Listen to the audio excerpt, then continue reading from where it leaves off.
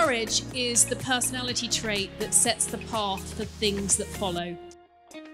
It is about stepping outside your comfort zone, doing the things that no one think you can, believing in yourself, trusting in yourself, going after the things that you want, knowing your worth. Today was amazing. The energy was absolutely fantastic and the feedback that Motorola Solutions got was incredible. So we've met some fantastic women here today and we hope that one day that we can get them on board to Visa.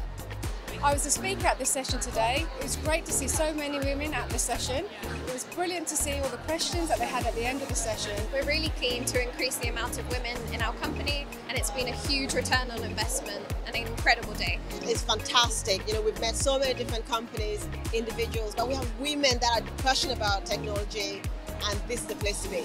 I just flew in from the States and I had just given a motivational talk we don't have anything like this in the States, and the women in the UK are amazing. Energy is infectious. We need shows like this. It's been inspiring seeing how the different women have come from all different paths to come into tech. Being around other women who are looking to develop, and the speeches and the talks have been fantastic today.